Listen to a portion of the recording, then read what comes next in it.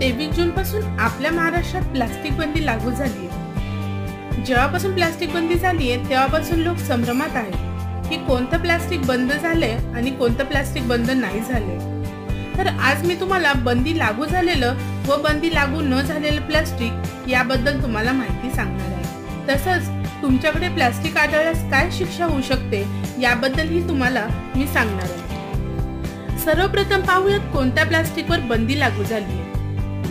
Plastic पिशव्या चमचे cup glass straw ताट वाट्या थर्माकॉल उत्पादनं साठवण्यासाठी असलेली प्लॅस्टिकची आवरणं द्रव्य पदार्थ साठवण्यासाठी वापरात येणारं प्लॅस्टिक प्लॅस्टिक व थर्माकॉलच्या सजावटीच्या वस्तू.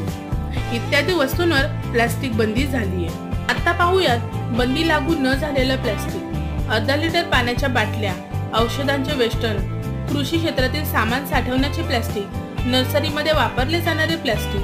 अन्नधान्यांसाठी पन्नास मायक्रॉनवरील पिशव्या पन्नास मायक्रॉनवरील दुधाच्या पिशव्या रेनकोट कच्चा माल साठवण्यासाठी वापरत असलेले प्लॅस्टिक टिफिन नष्ट होणाऱ्या बॅग्स टीव्ही फ्रीज सारख्या उत्पादनासाठी वापरले जाणारे थर्माकॉल बिस्किट वेफर यांच्या पुड्याचे वेस्टर्न. इत्यादी प्लॅस्टिकवर बंदी लागू नाही झाली जर तुमच्याकडे प्लॅस्टिक आढळल्यास काय शिक्षा होऊ शकते?